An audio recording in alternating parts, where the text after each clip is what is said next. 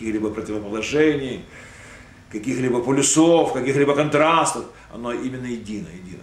И поэтому э, строить религию без чувства единого невозможно. И христианство это момент учитывает, но как-то вот он, он ушел в тень этот момент. Так? Что Троица, она как бы вот вышла на первый план. Это то, что я говорю, это никакой не упрек, это просто констатация факта. Христианство, безусловно, монотеистическая религия. Но, понимаете, какая ситуация сложилась? Вот мы говорим, что три ипостаси равночестны, что три ипостаси равноправно. А вот э, так получилось, что первая ипостась как бы ушла в тень. Неправильно, неправильно. И я восполняю с помощью индийской философии вот этот дефицит знания о Боге Отце. О Боге Брахман, он э, начало творческое, Брахман это есть Творец, так? Брахман, в конце концов, Отец всего. Да. И это вполне совместимо, вполне совместимо. Это э, тоже как бы два потока, которые друг в друга входят, и где надо не взаимодействовать, а где надо не расходиться. Что, конечно, Веданта, она имеет э, свой понятийный аппарат, она, она тяготеет к чему? Веданта тяготеет к тому, чтобы э, пренебречь иллюзорное множество мира, это майя для него, да, для, ведантиста, а вот выйти на единое. Христианство наоборот, христианство, оно ценит многое, оно культивирует многое. Много это жизнь, много это э, софийное творение Бога. И не нужно там многое свертывать обратно в мировой нуль. Пусть оно процветает, пусть оно э, преображается. Сейчас оно это много испорчено. В нем вот появилась червоточина греха, отсюда смерть, энтропия и так далее, и так далее. Очень разные ценности установки, но тем не менее, тем не менее, э, все здесь можно понять и соотнести друг с другом. Хорошо. Ну вот Веданта, да. Если взять буддизм, ну я хочу сказать, что вообще индийские философские системы, они имеют очень сложные внутренние связи, это понятно. И буддизм во многом близок Веданте. Ну вот Борис Леонидович Смирнов, который переводил там Махабхарату, о котором я в прошлом раз рассказывал, вот он просто специально занимался доказательством того, что Брахман Веданты и нирвана буддизма это одно и то же. Нирвана это есть единое. Да. Вот. Я написал три книжечки про буддизм. Моя Махая, Кинаяна, моя Махаяна и дзен-буддизм. Это очень разные формы буддизма. Вот я об этом сейчас немного скажу. Так, вот почему мне нужна Кинаяна? Кинаяна это наиболее ранняя форма буддизма. Так. Это та, та форма, которую дал лично Будда. Будда, да. Будда великий мыслитель.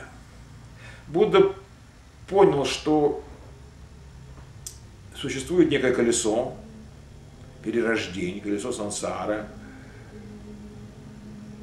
И в этом колесе мы как пленники. Мы замкнуты внутри мирового цикла. Наши души перевоплощаются от жизни к жизни. И вот Будда впервые ощутил, что это негатив. Для раннего буддизма характерно негативное отношение к идее перевоплощения. Реинкарнация это что? Это умножение скорбей. Главное у Будды это ощущение того, что мир страдает. Что мир есть боль. Быть больно. И вот что такое буддизм? Это такая своеобразная анестезия через нирвану. Нирвана это абсолютный нуль, это абсолютный холод. И вот э, Будда считает, что надо остановить колесо сансара на нулевой отметке, на точке нирваны. Почему Будда вот так отнесся к идее превоплощения, которая потом она получит новую, новую жизнь, скажем, в Махаяне эта идея. А потому что как раз в это время что происходило? Человек начал осознавать себя как личность. Человек ведь не сразу стал личностью. Но когда появилось первое лирическое стихотворение? Только в шестом веке до нашей эры, это поэтесса Сапфо. Что такое лирика? Это лирика, когда пишет стихи не эпик, эпик эпос он как бы безразличен к чувствам, к личностному своеобразию, а пишет стихи кто? неповторимая женщина, Сафо, вот она, вот она такая. У нее так, так, такой, такой, такой внутренний строй души. Это, поэзия это тонко отражает. А хорошо, если я личность, да, я должна перевоплотиться в другом человеке, я, я, это же будет другая личность. Хоть убейте меня, да. Душа-то она в, человеке предельно индивидуализирована. Личность это, это, комплекс тела, души, духа. И быть в другом теле, это значит быть внутри как бы тюрьмы. Это не мое все. Вот Будда это понял. Будда это понял, и он решил, что лучше отказаться от переплощения, идти в нирвану. И решение, конечно, очень пессимистическое, очень такое минорное. Суровый, холодный, хидаяне, я ныне утверждаюсь неспроста. Наивная это вера, упование, все фикция, иллюзия, щита. Я долго пребывал в самообмане, что человек, он круглый сирота, нет Бога ни в сансаре, ни в нирване. На месте Бога только пустота. Поэтому в себе ищи опору, на небе не найдешь авторитета, был Будда человек, совсем не Бог, вот переход подобный коридору. В его конце ты не увидишь света, перед тобой обрыв земных дорог. Вот у нас э, в России очень такое поверхностное впечатление о буддизме. Дело в том, что Хинаяна сохранилась не, очень небольших таких масштабах, в отличие от Махаяна. Вот. Это, это факт. И часто совершается ошибка. Будда приветствуется за то, что он никогда не мог сказать. Буддизм это явление крайне разноплановое, крайне разношерстное. Будда был нигилистом. Э, Будда был пессимистом, Будда был скептиком. Хотя в то же время был великим гуманистом, потому что он понял, что такое сострадание, что такое любовь, он понял ближе христианства. Так? Вот. Он понял, что страдание – это основное. И он хотел это страдание как-то умерить, преодолеть. Страдание – это наше состояние. Страдание – всюду мука и надрыв. Страдание, энтропия, нарастание. Страдание, не вижу перспектив. Не буду читать это весь гиперсонет. Здесь сколько раз повторяется слово страдание. Много-много раз, да? 21 раз слово страдание повторено. Вот, хорошо. Значит, уйти в нирвану, значит, э, уйти в небытие. Небытие, так?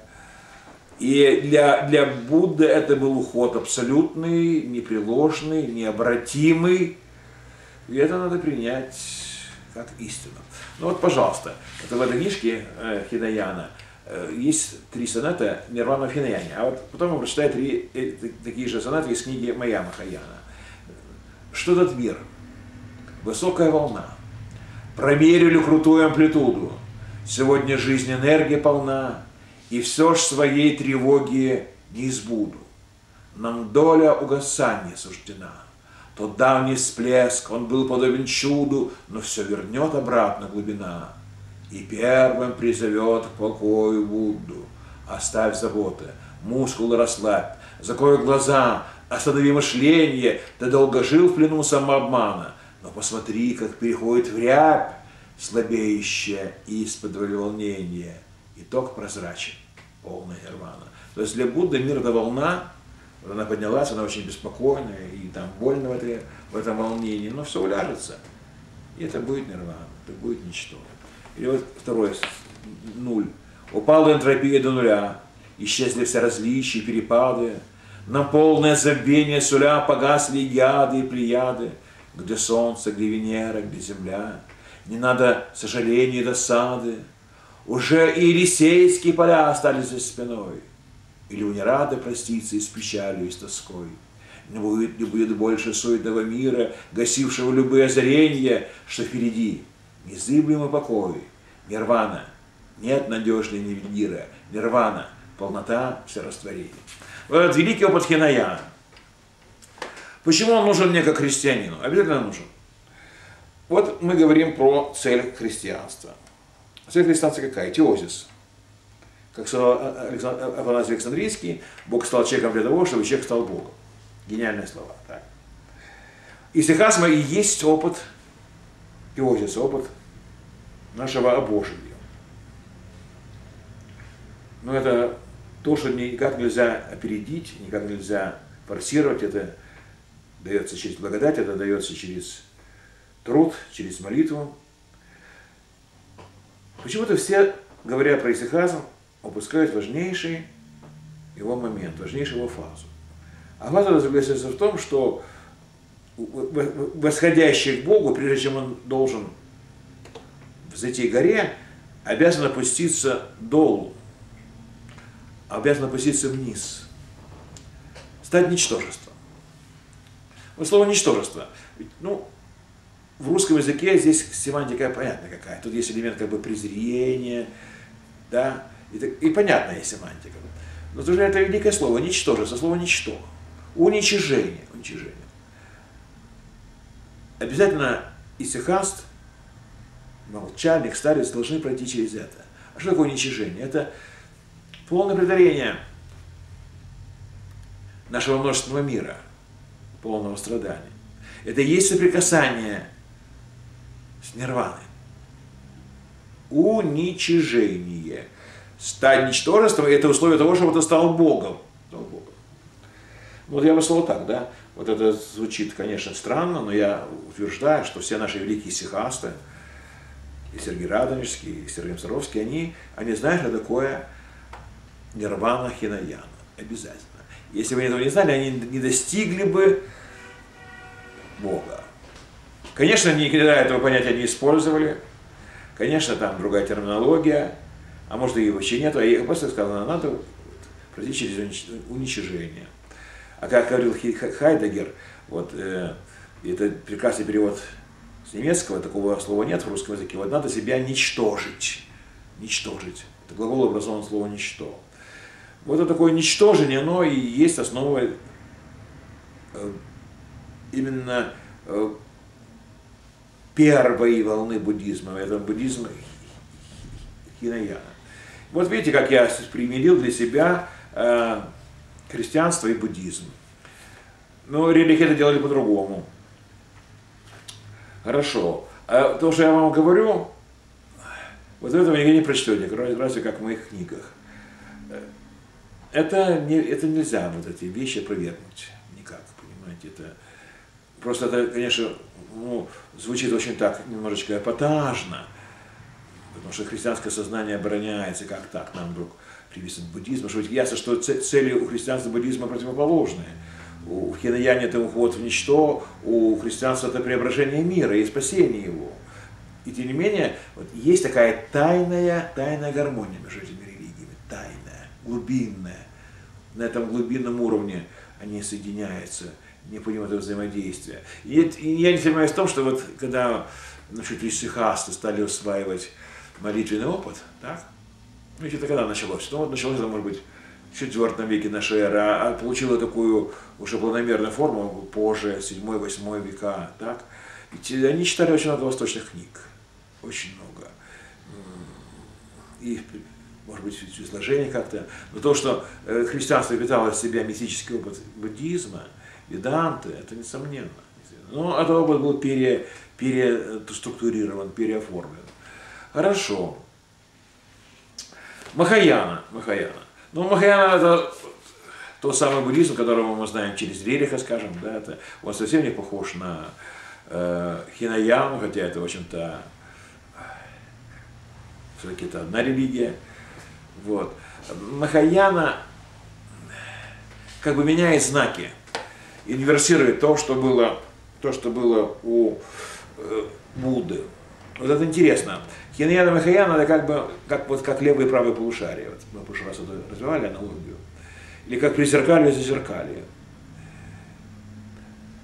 Но я не буду здесь проводить все эти линии сравнения, скажу только кратко, что Махаяне полностью реабилитирована идея метапсихоза.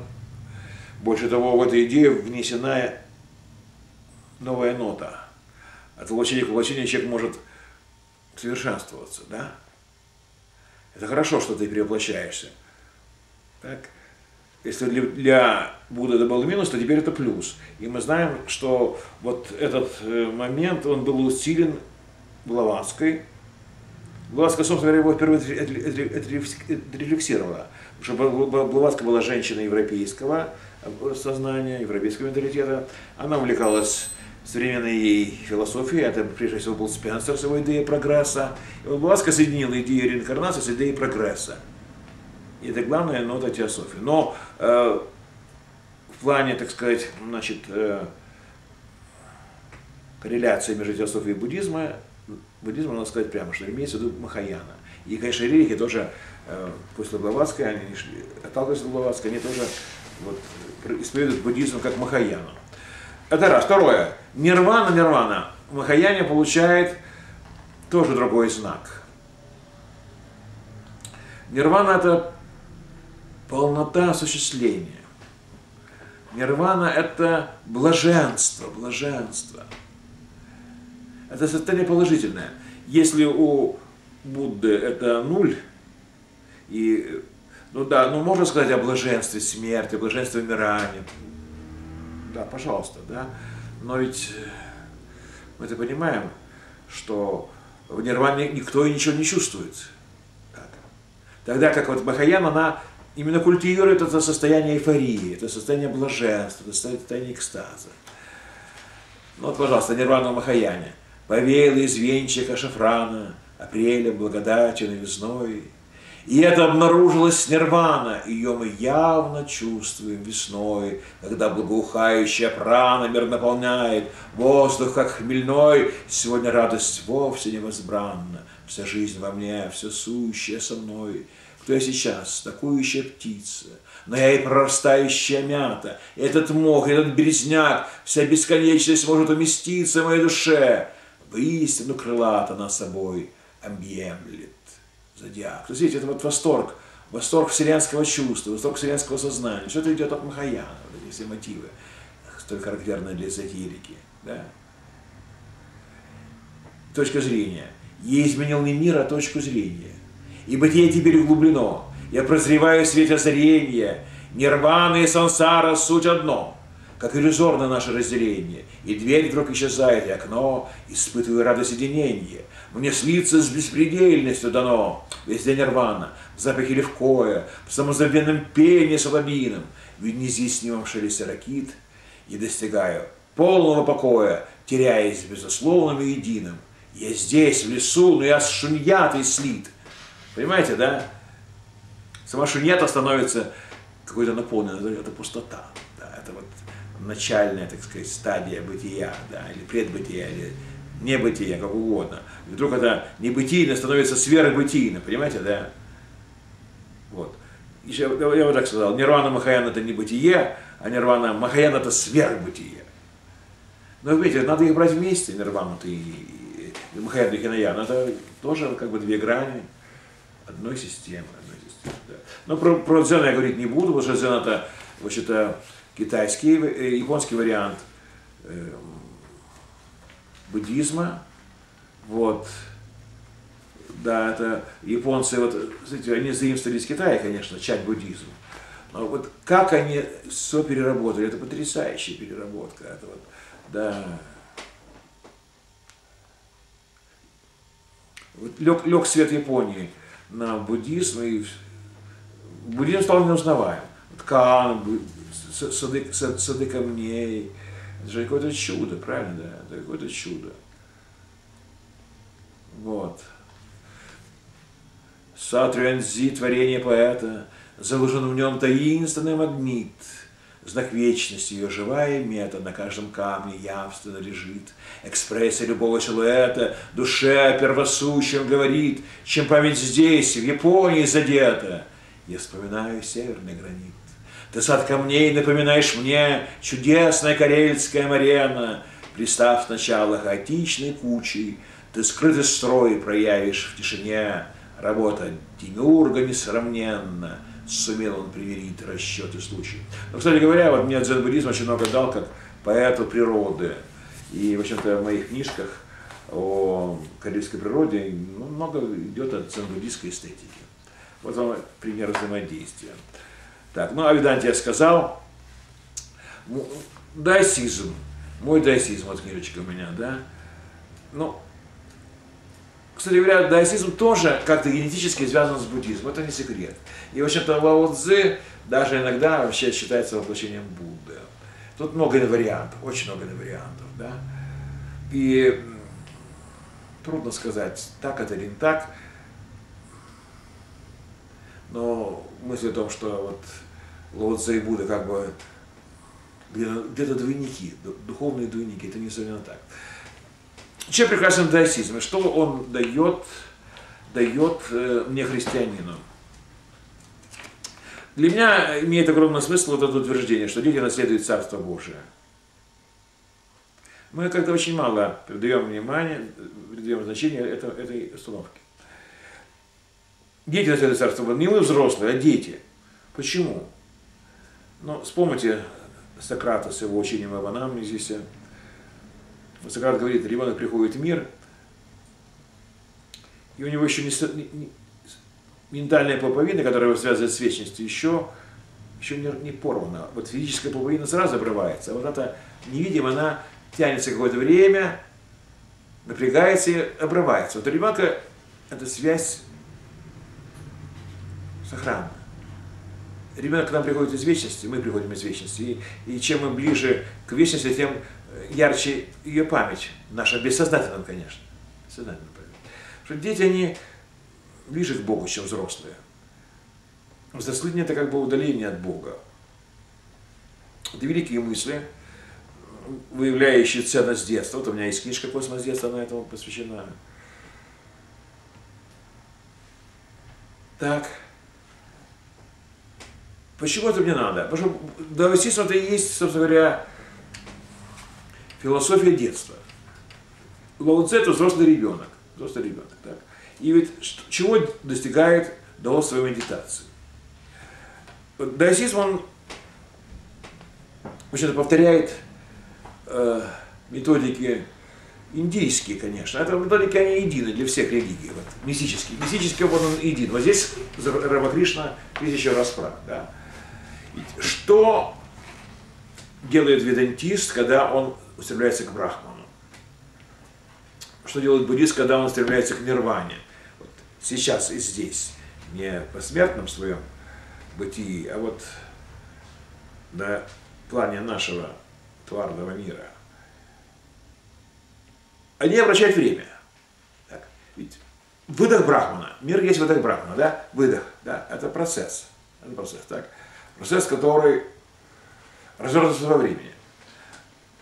Значит, нужно свернутое, развернутое свернуть сворачивание, Людочка, у тебя проблемы есть, давай, решим да. Итак, инверсия времени. Вот это, же самое, самое интересное и самое глубокое.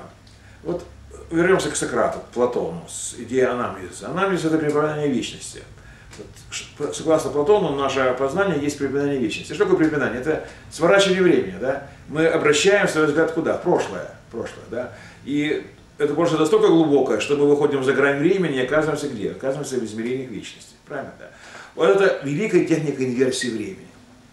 Значит, я сворачиваю время, я сейчас ребенок, потом я выхожу за границы своей жизни, я прохожу через всю эволюцию, кончается земная эволюция, начинается эволюция космическая, я дохожу до некой, до некой начальной точки, из которой возник мир, это точка, которую мы назовем Брахманом или как угодно, точка сингулярности.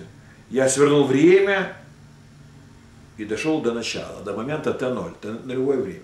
Вот даосизм, он гениально владеет этой практикой, и здесь, здесь даосисты превозошли всех других.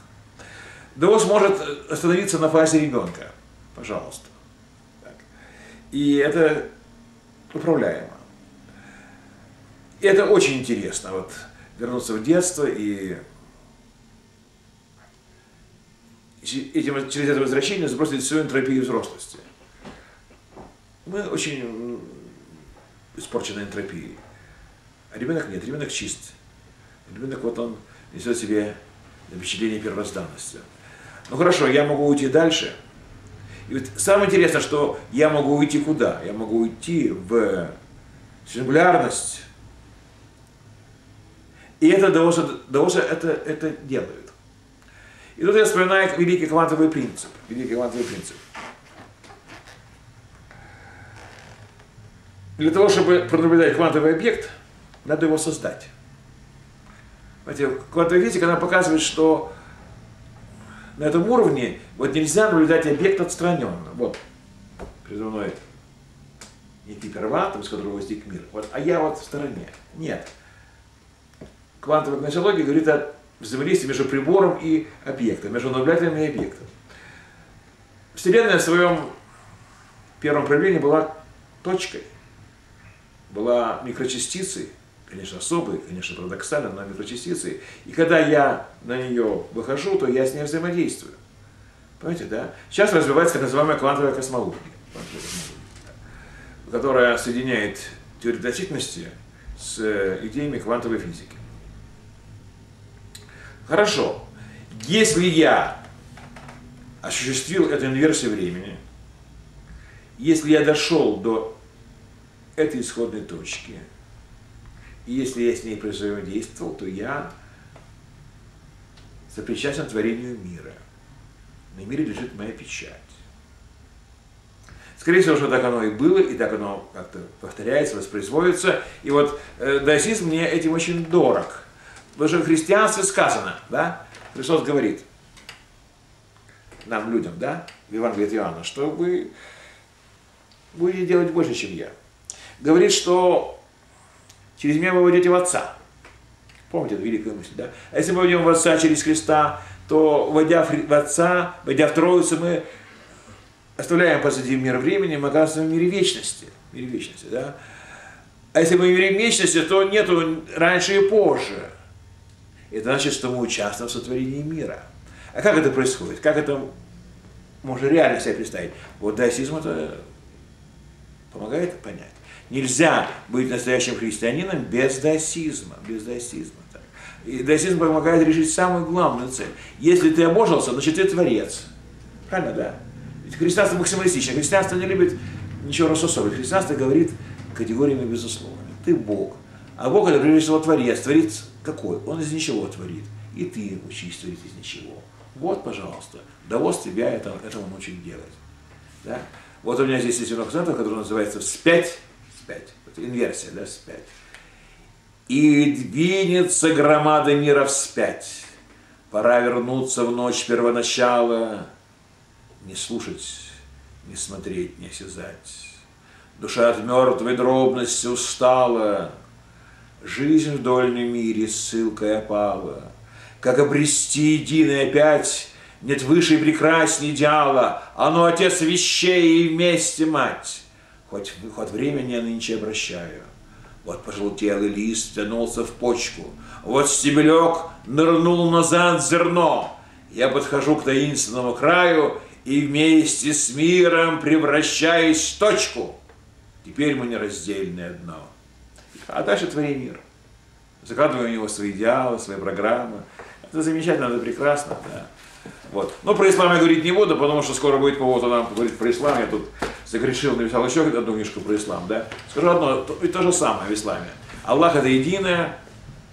Так, вот, раз, хулул, за что меня так ругают мусульмане, за халаш был великий суфи. А суфи это то же самое, что даос. То же самое, что и сихаст. Они, суфи поднимаются к Богу. «Я Бог!» — Халадж воскликнул на базаре. «И мы авторию на карельском шаре!» Достанет суфи Бога человеком. И мир пересоздаст с Аллахом в паре. Понимаете, да? Вот так. Но это суфизм, и очень дерзкий. И официальный ислам его не принимает. Да. А как вот э, суфизм, э, суфизм, как он понимает э, высоко любовь. Мы знаем, что персидская лирика, лирика персидская, конечно, арабская тоже, ну, лирика ислама, да. Там очень много написано про любовь. Про любовь к Богу, про любовь к женщине. Часто это одно и то же. Понимаете меня, да? И любовь к вину, кстати говоря, надо здесь помнить. Вино, женщина, это, это образы Бога. Да. Лейла и Меджну. Двоимение соединю без страха. Люблю я Лейлу и люблю Аллаха. Вас сердце я давно не разделяю, лишь любящим дано восстать из праха. Понимаете, да? Вот. Так что я вот, видите, то, что я делаю сейчас, это такая игра в бисер, высокая игра. Конечно, меня, скажем, не поймут даосы, буддисты, э, мусульмане уже не понимают. Да? Ну и ладно, мне-то что. Я живу в этом мире, и мне, я освоил на сферу нашу, как, э, как свою нишу. И я знаю, что если мне сегодня трудно в христианстве, у меня есть убежище в буддизме. Э, в буддизме мне сегодня дискомфортно, я перейду в даосизм. И вернусь к самому себе. Хорошо. Ну вот, значит, мои книжечки здесь у меня вот под рукой. Ну вот в заключение я скажу про э, э, зороастризм. Зороастризм, знаете, вот сегодня его фактически не существует, какие-то очень маленькие очаги вот этих э, огнепоклонников, да, есть, конечно, но это когда-то была очень мощная религия, персы, персы, да, ну, эти персы, Иран, иранцы, да, это индоиранская общность, это то, что связано с Индией, это произошло великое разделение народов. Так, иранцы отошли сюда, в сторону Европы, и стали иранцами, при этом происходили очень интересные преобразования архетипов. То, что в Индии имело знак плюс, э, у них получало знак минус, и наоборот. Но чем велик зороастризм? Он все равно оставил колоссальный след в истории культуры. Колоссальный след. Нестираемый след. Вот. Это его дуализм. Это учение о том, что есть два начала в мире, добро и зло. Добро и зло. И эти начала несовместимы, непримиримы, одно другого не зависит. Очень мощная религия. Вот это то, что мы называем дуалистической космогонией. Крайне интересный миф лежит в основе зороастризма. И один из самых гениальных мифов в истории, конечно, нашей ноосферы. Был такой бог Зерван. Зерван, вот тут у меня есть о нем немножко написано, да. Да есть даже Иноксентов Зерван вот здесь у меня, да. Зерван. Ну, это как бы персонаж, но тоже это абстракция. Зерван это бесконечное время, то есть вечность. Миф имеет свою логику, не будем в ней сейчас разбираться, а скажу главное. Зерван это тоже воплощение единого. И вдруг Нирвану стало, так, извините, пожалуйста, буду говорить немножечко так, по-писательски. Нирвана, Нирвана стала тоскливым, он один, и нет ничего другого, кроме него. Это вот единый Бог, как он одинок. Вот христианство в этом плане снимает проблему. Троица, она вечная троица. Вот три ипостаси, они друг друга любят, и Рублев это гениально передал. И нет вопроса, чем троица занимается до сотворения мира, до сотворения человека. Самой собой занимается. А вот когда нет троицы, есть один Бог, одно начало, вот звучит мотив одиночества. Это мотив уникальный. Единое переходит в, тему одиночества. И Зерман молится, чтобы у него родился сын. Вот, вот здесь начинает работать архетип э, Бога Отца, то, что потом в христианстве получит э, окончательное воплощение. Молитвы не дают никакого результата. Кому молится, это не будем спрашивать, я говорю, у мифа своя логика. Вот гениальный ход. У Зервана появляется сомнение в самом себе. Сомнения. Значит, он двоится, двоится, раздваивается. И поэтому он зачал сразу двух сыновей, не одного. Это Ахурамазда, так, воплощение светлого начала, и это Ариман, воплощение начала, начала негативного, агроманию. Я даю вам последние такие популярные транскрипции этих имен. Да? И вот у него рождается двойня. Должен был родиться поначалу светлый Бог. Был лучше для нас с вами. А вот Ариман, он узнал о том, что его могут, может близнец опередить, брат. И вот вышел в мир первым. И мы сейчас живем вот под властью зла. Когда-нибудь произойдет битва добра и зла. Это очень не скоро будет. Да. И эта битва кончится победой добра. Но зло будет сожжено. Тут нет идеи преображения зла, воссоединения зла. Классический зороастризм считает, что добро может взять верх окончательно, но не в очень далекой перспективе. А сейчас вот надо исходить из того, что вот есть эта полярность, есть этот дуализм. Зороастризм очень сильно повлиял на манихейство. Это второй век, Мани, это тоже персидский, иранский философ. Ну а манихейство оно дало целый гроздь, целый гроздь э, сект. Это и альбегойцы, и катары, и богомилы. У нас Занежье записывались легенды космогонические, несущие на себе печать дуализма. И этого дуализма иранского. Но вообще для, для славян это не характерная черта, дуалистическое сознание. Но вот буникейский дуализм, он еще, повторяю, очень, вот он очень как бы влиятелен. Я понимаю, почему. Люди исходят из того, что э, в мире добро должно быть равновешено злом. Это философия, которая как-то она спонтанно рождается, без всяких знакомств, э, без всякого знакомства с, с Ираном, с Персией. Да? Вот почему есть зло? Для того, чтобы ты лучше чувствовал добро. Принцип контраста, принцип, который вот очень хорошо прочувствовал Августин Блаженный, считал, что Бог вот э, Бог мастер красноречия, элоквенции, и Бог говорит на двух языках, язык добра язык зла, для того, чтобы через контраст мы поняли то и другое. Вот, хорошо. Ну, очень красивая вещь, э, э, очень красивая вещь э, Замечу, что, конечно, Нишевский, так говорил Заратустра, никакого значения